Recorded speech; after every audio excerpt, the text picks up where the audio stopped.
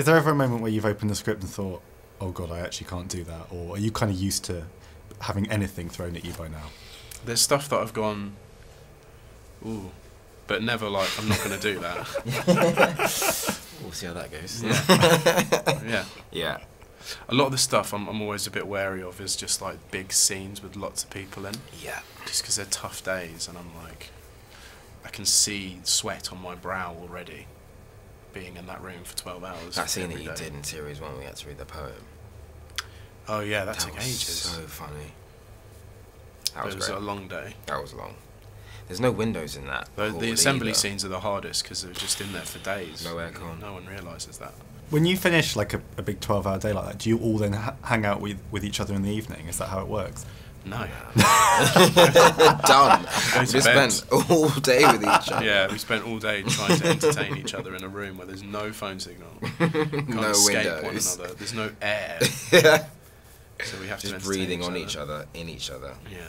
for each other. No, we don't. Because where do you all live during shooting? Are you all kind of in the same kind of place? Yeah, we Yeah. in a in like a block of flats. We we chill and we we do nothing really. Quite boring. I mean, I I think that's just me. I don't think I do anything.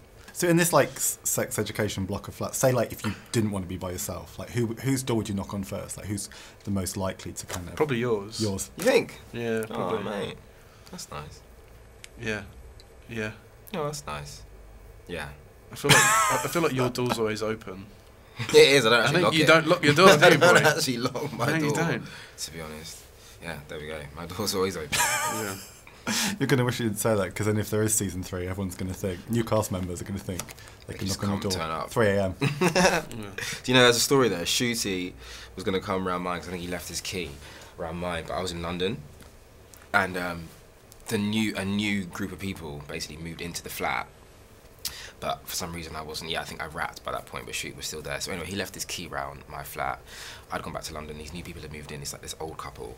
Anyway, Shoot was like calling up my phone, calling up my phone. By the time I didn't pick up the phone, he goes to my flat, knocks on the door. No answer. The door's open. He goes to open the door. He's like, Kedar, Kedar, Kedar. And there's an old woman in